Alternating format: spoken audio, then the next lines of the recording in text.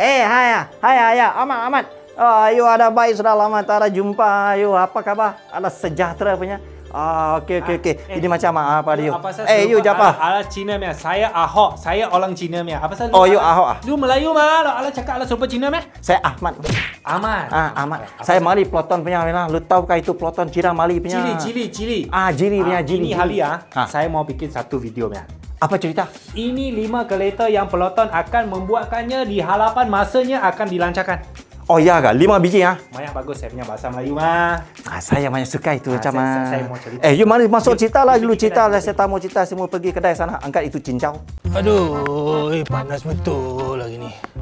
Hai, kalau dapat berkena cendol sedap ni. Aduhlah. Aduh. Balik kampung, uh, balik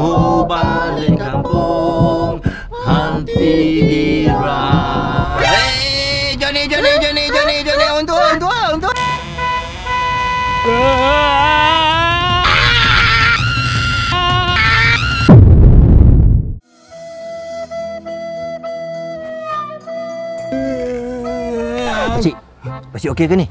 Wih, nasib baik cendol aku selamat. Pakai brake apa ni? Ah, lain kali kau dah lah tester. Dah lah sah, dah lama, dah nak ke berbatutan. Eh, mau, mau, mau,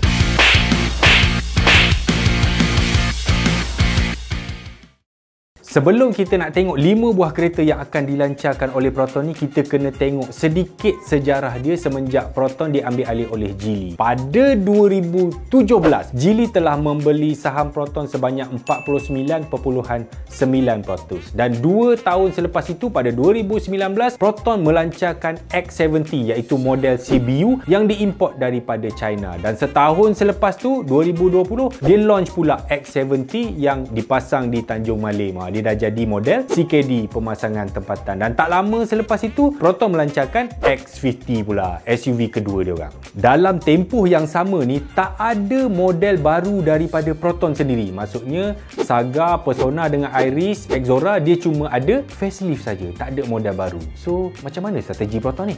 Nampaknya Proton cuba kuasai dua pasaran iaitu model sedan hatchback yang murah yang mampu milik dan juga model SUV premium iaitu X50 dan X70. Kalau kita tengok Suprema S, Breve, Perdana semua dah tak ada. Semua dah stop production. Dan dalam banyak press conference, Proton selalu cakap dia akan keluarkan model-model ini dalam tempoh 5 tahun. Dan pada 2027, dia orang nak jadi nombor satu kat Malaysia. Wah, susah tu nak potong Pro 2. Boleh ke? Boleh dengan syarat dia kena ada kereta yang banyak lah. Kalau jual personal lipas je, macam mana nak jadi nombor satu? Ha, dan hari ni kita nak cerita tentang 5 buah kereta yang akan dilancarkan oleh Proton.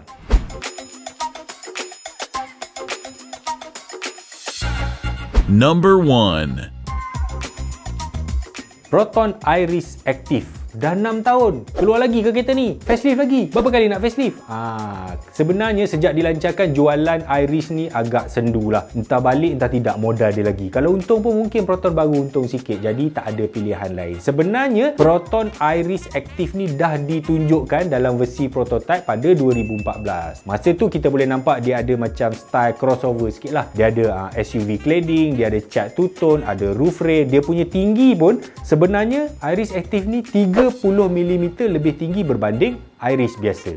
Dah banyak spy shot kita boleh tengok Iris Active ni dekat uh, media sosial yang kemungkinannya ini adalah model paling dekat akan dilancarkan oleh Proton. Mungkin dalam masa yang sama ada yang tanya, eh tukar je lah Iris tu. Tak ada Geely ke yang boleh rebadge? Malangnya memang tak ada. Geely tak ada kereta kecil yang boleh di rebadge oleh Proton. Direct model tak ada. Cumanya kalau sharing platform mungkin ada. Proton mungkin boleh gunakan BMA, B Modular Architecture milik Geely yang mana digunakan sama dengan Proton X50. Tapi again, nak buat model baru mahal lah. Facelift sudah.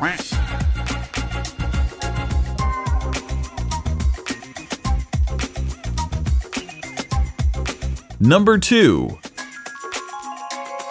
Proton Exora. Ya, kereta ini sudah cukup tua kerana ia dilancarkan pada 2009 tuan-tuan. Sekarang dah 2021. Berapa tahun dah tu? 11 tahun eh? Ha, lama sangat. Dari segi teknologi, Exora yang kita ada sekarang ni memang sangat-sangat ketinggalan. Economical bahan api, jimat minyak? Tidak. Maintenance murah? Tidak. Apa lagi? Exora ni kalah hampir setiap segi kecuali dia menang dari segi saiz dan juga harga. Untuk saiz dan harga memang dia menang. Ha, sebab tu dia masih dijual sehingga ke hari ini. Alright. Sebenarnya Geely GRG ni dah masuk pun dah sampai kat Malaysia. Dah sampai dekat R&D Proton yang mana kita orang pernah buat story dia tahun lepas. Memang ada orang dapat spy shot lah. So, most probably memang Exora ni akan masuk dalam pasaran tempatan. Okey, dari segi saiz GRG ni, Exora ni sebenarnya lebih besar daripada Exora sekarang tetapi dia sedikit kecil daripada Estima. So, saiz dia almost sama saiz Estima. So, kita dapat Exora yang lebih besar. Untuk enjin ada dua pilihan iaitu 1.8 turbo, 1.5 turbo atau hybrid atau PHEV. Wah, canggih sekarang ni Proton. Okey, disebabkan Proton-Proton baru sekarang dia pakai tata nama nombor dan berkemungkinan besar Proton Exora baru ni akan dinamakan sebagai Proton V70. Ha, kenapa nombor? Sebab senang kalau nak eksport, tak payah tukar nama dah. Kalau kita tengok, uh, nama kereta ni kadang-kadang dekat Malaysia masuk lain, dekat Thailand masuk lain, dekat Brazil masuk lain. Masuk tu berbeza. Dan kadang-kadang setengah orang negara lain dia payah nak sebut dari segi uh, pronunciation tu kan. So, kalau dia guna numbers, X70, X50, V70, senang. Sebab tu BMW semua pakai nombor. Mercedes semua pakai nombor sekarang. Audi semua pakai nombor.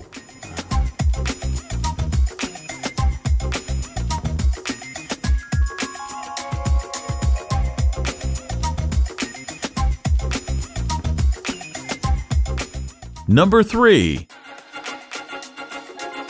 Proton Preve. Ha, ni model gantian yang mungkin akan dikeluarkan berdasarkan Geely Bin Rui. Kita cerita Proton Preve dulu. Proton Preve ni dia launch pada 2012 dan semua orang tahu Preve ni adalah impian Proton yang tidak tercapai. Mereka cuba buat satu kereta segmen C yang mempunyai hampir segala-galanya, semua ciri-ciri yang ada tetapi disebabkan kesilapan demi kesilapan. Contohnya kereta ni belum cukup siap pun dia nak launch tapi terburu-buru sangat dia pun launch. Bila launch, hmm, memang macam-macam lah. Masalah kualiti, masalah ekonomika dan gabungan enjin Campro dan juga transmisi punch CVT itu adalah bencana terburuk untuk kereta ini. Dan pada 2020 ia ditamatkan pengeluarannya bersama-sama dengan Proton Perdana. Dan dalam line-up Proton sekarang ni cuma ada dua sedan iaitu Saga dan juga Persona A dan juga B. Dia tak ada saiz C dan saiz D. Ha, kurang lah sikit kan? So macam mana? Dia kena ambil daripada China lah iaitu Geely Binrui apa yang menariknya Geely Binrui ni dia menggunakan platform BMA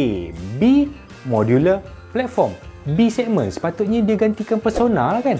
Nah ini yang menarik sebab walaupun dia segmen B tapi saiz sebenar Binru ini dah almost sama dengan saiz Honda Civic. Dan ini juga menarik sebab di China walaupun dia kelaskan sebagai segmen A, B, C, D sebenarnya dia tak ikut sangat saiz-saiz common yang orang luar pakai. Kita tahu China ni memang disuka kereta dalaman yang besar apa semua kan. Sebab tu kereta dia kebiasaannya lebih besar berbanding standard industri.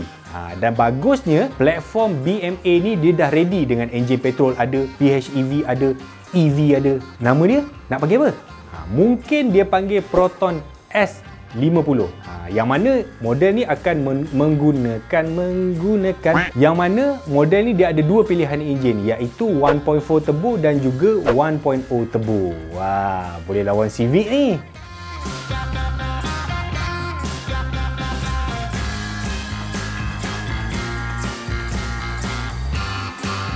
Number 4. Proton Perdana. Ha, Proton Perdana ni memang akan digantikan lah. Dan calon paling dekat ialah Geely Boroi. Khusus untuk orang-orang yang boroi. Biasalah orang kaya kan kebanyakan dia gemuk boroi gitu bawa kereta besar kan. Tetapi model ini mungkin merupakan model yang paling lambat akan dilancarkan. Sebab kita kena ingat segmen D ni market dia tak sebesar segmen C atau segmen B. Kita boleh tengok di segmen dalam pasaran lah. Accord, Camry, Mazda C. Harga jual pun dah 200,000. Orang pun fikir banyak lah kalau nak beli kan. Borui ni dia menggunakan platform CMA. Ha, C Modular platform lebih besar daripada B tadilah. Okey, C ni dia bangunkan Geely dan juga Volvo. Dia berpakat orang, dia share untuk bangunkan platform baru ni. Dan sebenarnya selain daripada Borue tadi, yang CMA ni dia dah pakai dekat Volvo XC40, Polestar 2, Link Co 01, 02, 03 dan juga 05. Nampak tak saya sebut Polestar 2 tu? Maknanya apa? Maknanya platform ni memang dah ready untuk dijadikan kereta full elektrik sepenuhnya. Menarik kan kalau kita dapat perdana cocok je jalan, tak payah singgah. Tetapi kereta elektrik ni tidaklah akan dijual dalam masa terdekat dan pilihan enjin yang ada pada Boroi Boroi Borue ni ialah enjin 2 liter turbo yang berkuasa sekitar 190 horsepower. Saiz macam mana? Kereta ni lebih besar daripada Preve tapi kecil sikit daripada Perdana. So sesuailah untuk menjadi gantian kepada Perdana sekarang.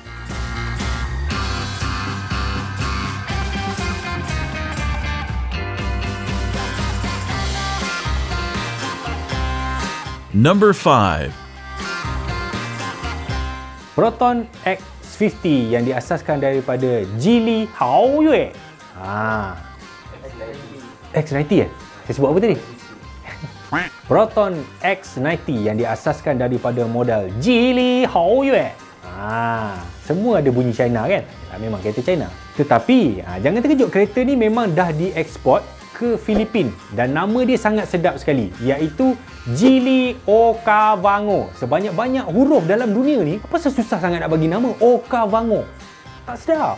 Tetapi walaupun nama dia tak sedap di Filipin, kat Malaysia mungkin dia nama dia jadi sedap lah. Dia panggil X90. Dia ada tiga baris tempat duduk. Ada versi 6 seater, ada versi 7 seater. Okey, bayangkan Mazda CX-A atau Kia Sorento ataupun Hyundai Santa Fe ataupun apa Volkswagen Tiguan Allspace kan. Ada 7 ataupun 6 seater. Ha, kan? Tapi dia dah ada Exora tadi. Nah, bukan semua orang nak beli MPV.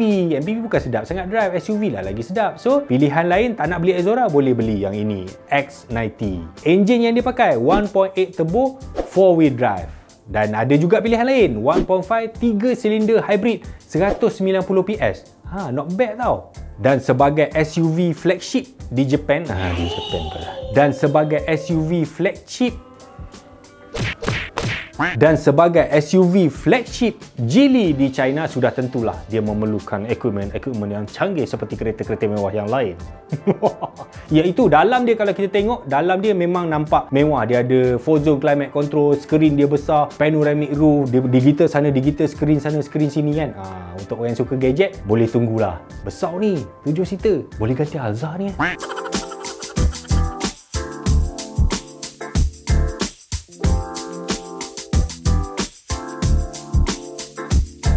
Jadi itulah tadi 5 buah kereta yang akan dilancarkan oleh Proton. Dah ramai yang komplain ni. Alah, itu rebash je semua. Mana ada kereta Proton sendiri? Okey, dalam satu interview yang dibuat oleh Astro Awani, saya tak ingat, mungkin tahun lepas kot. Dr. Lee, CEO Proton pernah cakap bahawa memang dia akan bangunkan di sini. Maksudnya, Proton akan bangunkan kereta daripada kosong, daripada scratch sampai jadi siap. Bukan satu, tapi dua model. Itu kata Dr. Lee. Tapi kalau kata kami, dalam masa terdekat adalah mustahil. Atau dengan lebih tepatnya, sangat mustahil. Sebab apa? Sebab skala ekonomi tidak membenarkan. Kalau Proton bangunkan kereta dia sendiri, kos dia sangat-sangat tinggi. Dan kami baru mendapat info. Ha, info ni menarik daripada info dalaman yang memang sangat boleh dipercayai yang mengatakan bahawa model seperti Saga, Persona dan Iris akan dijual di pasaran tempatan sekurang-kurangnya sehingga tahun 2023. Bermakna ada 3 tahun ke depan lagi. Kalau Proton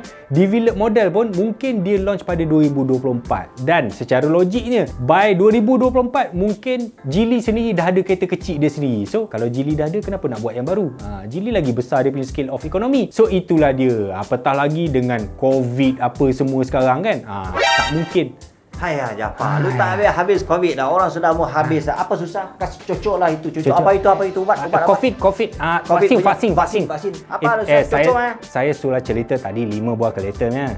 Lu banyak cepat cerita. Bila masa saya mau cerita? Lu pergi mana tadi? Saya pergi pasar. Hah? Beli itu cincau. Beli pergi pasar, beli Ah, cincau. Beli cincau. Ha. Jangan lupa subscribe. Tahu.